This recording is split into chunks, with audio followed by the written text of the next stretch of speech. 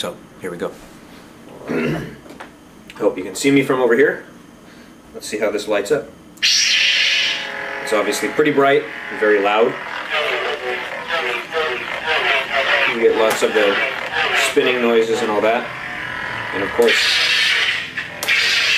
try to put all the custom sounds in there.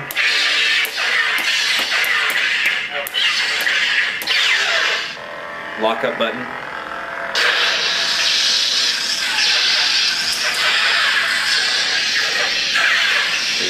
See it.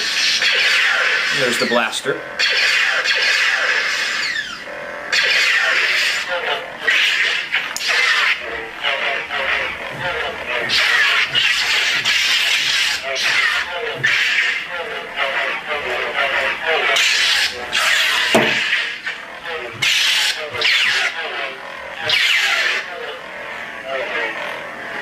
I'm not really sure what else to show. Let me see if I can see on the LCD screen.